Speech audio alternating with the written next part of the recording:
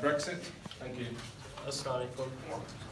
Brexit, although I think the term has been changed to Brexmas now. A word which has caused politicians the most troublesome of troubles that they have faced. A process which some deem to be beneficial to the UK and some deem is not best for Britain. On the 23rd of June 2016, the people of the UK were given a vote on whether they would like to remain part of the EU or whether they would like to leave. After much campaigning by well-known politicians and individuals by the current Prime Minister Boris Johnson, Nigel Farage and Tommy Robinson, the UK saw one of the closest votes they have seen in recent years. The final results saw that 51.9% of people voted to leave the EU, and after this, the story of the Brexit process began. Brexit caused many politicians to suffer, where many ministers and politicians have resigned, including two prime ministers in David Cameron and Theresa May. During the election campaign, the Brexiteers promised the people of the UK that if they left the European Union, they would have more money for the NHS, I think it's about 100 million per year, and that there would be less immigration at borders. However, after discussion in Parliament over the following months, it was clear that these promises were all fake news. The UK was initially due to leave the UK on the 29th of March this year. However, Theresa May was forced to ask for an extension by to Donald Tusk, and an extension was given to October the 31st. After that, it was clear that Theresa May was confident that she couldn't deliver a good Brexit, and she handed the role to the current Prime Minister Boris Johnson. Boris Johnson was fixed on the idea that he wanted to deliver Brexit on the October 31st, and he even said that he would rather be dead in a ditch if he didn't deliver Brexit on that date.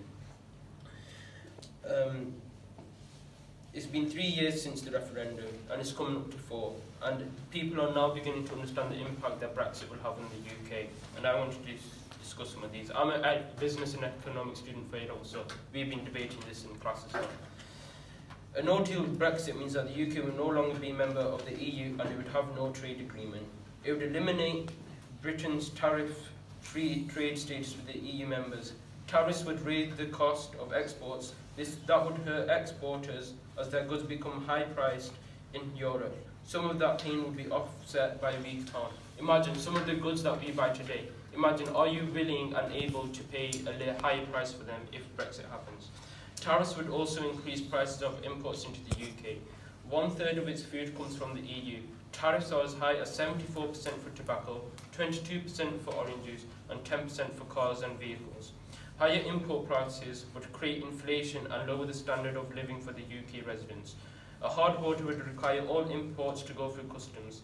Delay at the border could create food shortages, and that's something that the UK cannot afford to have. The UK is vulnerable because heat waves and droughts by other, by other countries caused by global warming have already reduced local food problems.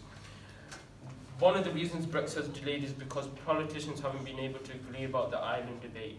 Now, the UK, the island is split into two sections. There's Northern Ireland and the Republic of Ireland. When Brexit happens, the Northern Ireland will leave the EU with the UK and with the Republic of Ireland will remain with the, UK, uh, with the EU.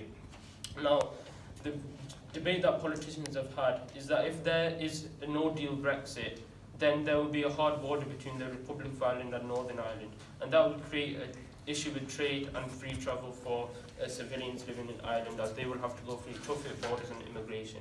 As far as on Brexit, I think that if the, whoever the next Prime Minister is, if they can get a good enough deal for uh, the EU and create a sufficient deal that will not shatter our economy I think that they will do. Otherwise, I think it's better for us to remain.